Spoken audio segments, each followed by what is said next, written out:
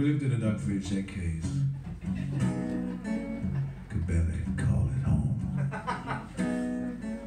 I saw it a lot, no roof on top. But the kids left us alone. no, I'm not gonna do that. I'm gonna do it like this.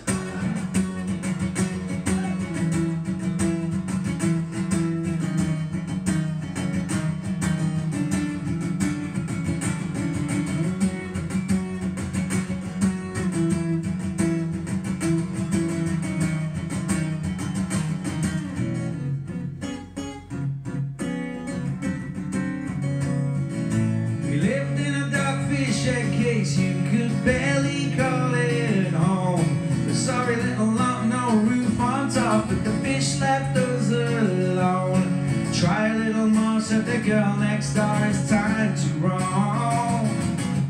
Mount Lizzie Cruz blank cobblestones were a sight to behold. She was a room on slapper, we always tried to get her pants off her when she fall.